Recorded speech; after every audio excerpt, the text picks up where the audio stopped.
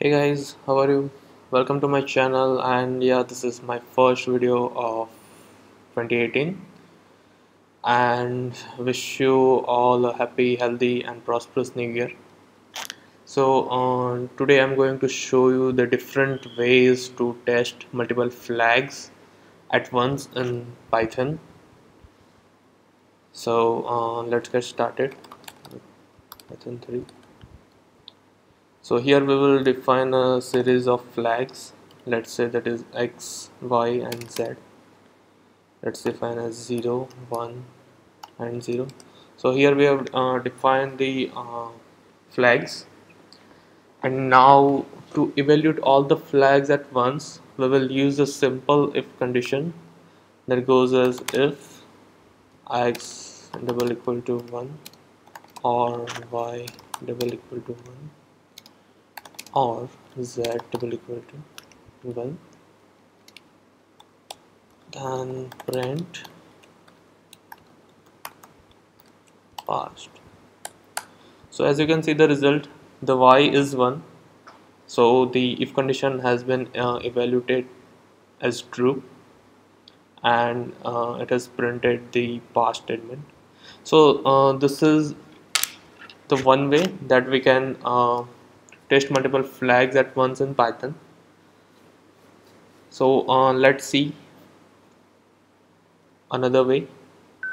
So another way is also a simple if condition. So it will be like if one n tuple of x y z then print passed well a bit simpler right than the first one. Now let's make it a bit more simpler than the second method.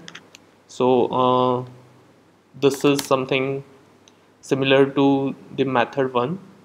That is if x or y or z then print passed yeah, is it? So uh, this was a, a bit simpler than the method one. Basically both are similar. Now well this was another way to evaluate flags. Let's explore the one more method. So in this method uh, we are going to uh, use an uh, inbuilt function that is any. So it goes like if any. So here in the parameters of any we are going to pass a tuple of the flags that is x y and z. And print.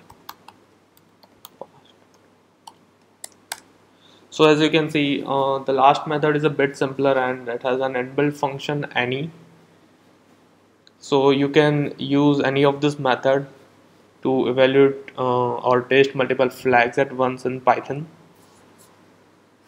So guys this was the quick Python trick to uh, test multiple flags in Python in a single go.